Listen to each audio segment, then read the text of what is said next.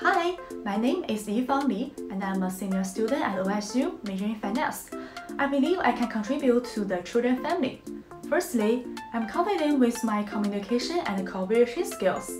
I engaged in the due diligence for the acquisition of a company, which required me to work in a team and communicate with business partners.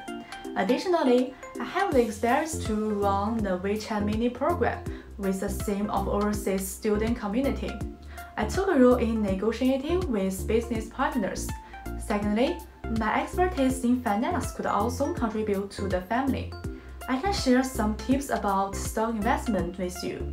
Plus, my experience of being a tutor of Excel and the Access class enabled me to become proficient in data handling. Last but not the least, I have a good time for being a member in OSU Chorus. Native students were willing to learn more about Chinese song and culture with me. Also, I'd like to discuss them to our family member.